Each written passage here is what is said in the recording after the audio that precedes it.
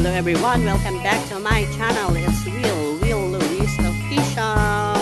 Sa hindi pa po nakakapag-subscribe sa channel, ibitin niyo lang po ang subscribe at notification bell para ma-updated po kayo sa aking mga videos.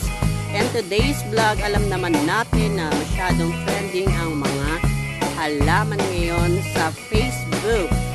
Masyadong binabarter, pero okay lang yun kasi dun tayo nabubuhay sa paghahalaman. Comment down below kung sino mga mahilig sa halaman.